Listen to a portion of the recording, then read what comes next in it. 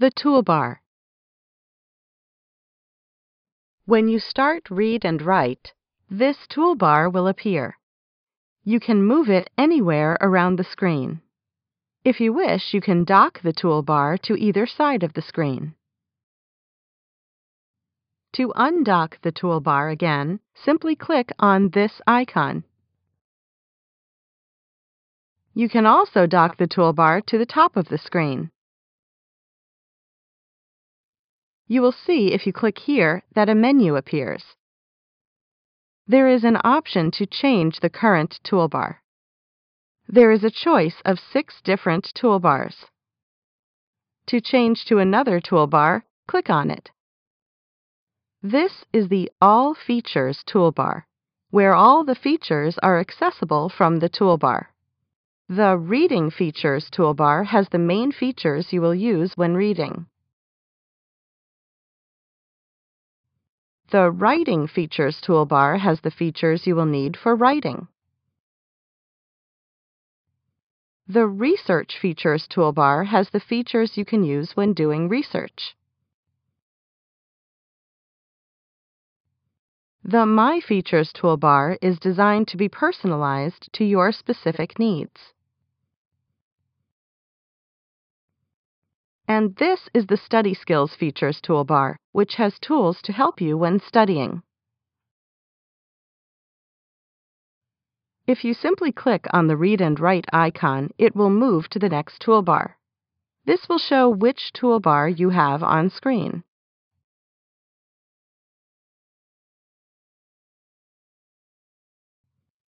You can change the appearance of the toolbars.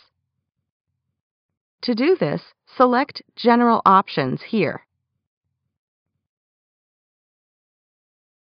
You can choose to switch on or off any of the features in the current toolbar. This way you can make your own toolbar that includes the features you use regularly.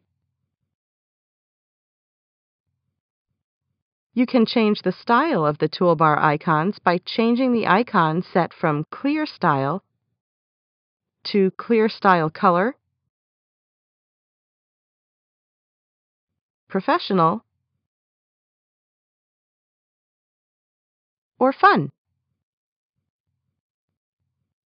In addition, you can change the size of the toolbar and have text to explain what the icons are.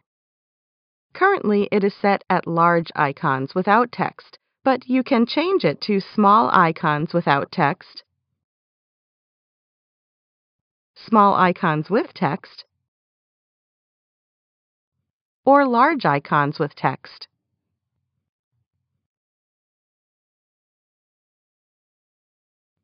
You can change the color of the toolbar here.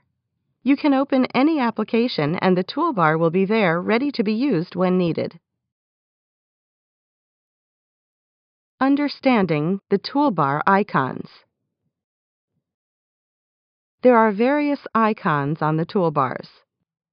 You will not be able to see all the icons available in Read and Write unless you have the All Features toolbar selected.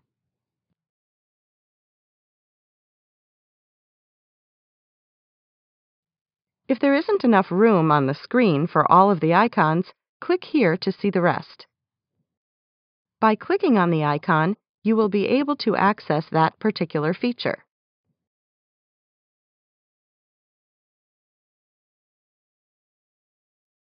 This is spell check, prediction, dictionary, picture dictionary, and word wizard. These three icons are for checking for words that sound the same or words that are easily confused. Next is the verb checker, followed by the calculator. The next five icons control the text-to-speech, rewind, play, pause, forward, and stop. Next is the screenshot reader, then the speech maker, followed by the daisy reader and pronunciation tutor. This is the scan icon, which is used to scan documents.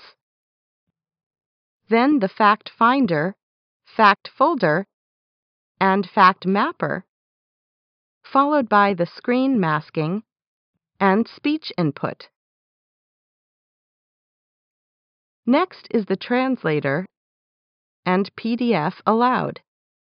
These four icons are color highlighters yellow, blue, green, and pink, followed by clear highlights and collect highlights. This is the vocabulary icon. Next is the word cloud and voice note. To access the help, click on this icon and finally the read and write icon. Beside many of the icons, you will notice an arrow. By clicking on this arrow, you will see the drop-down menu for each feature. From these menus, you can select various options to adapt the feature.